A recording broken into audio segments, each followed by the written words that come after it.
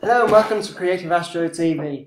So today I'm going to talk about an experience that I had recently that I'm sure a lot of us have had in our time. So,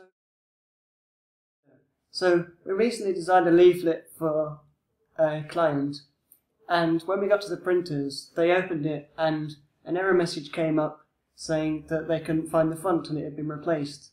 Now we had to go back and change the font because it was the font that I had on my laptop that they didn't have. So we went back, changed it, got it back, and it we got it sorted, but it wasted a lot of time and money. So what you need to do when you finish designing your document or logo or whatever, in InDesign or Illustrator, you need to create outlines. So select the text and Command Shift O, and this will turn the text into outline, so it doesn't matter about the font, it's just like an image. So when you go there, they won't have to worry about fonts. This is really important, make sure you do it on all your things before you get them printed.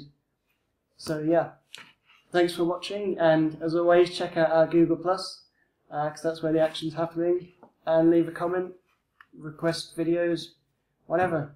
So, thanks for watching.